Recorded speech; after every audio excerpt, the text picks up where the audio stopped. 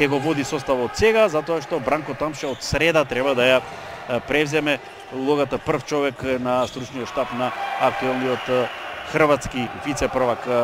Не успева да реализираат уште еден напад гостите, пожртвувано таму Гоце Георгиевски успеа да дојде до оваа топка сега. Вуин па Дибиро, убава финта, како бек,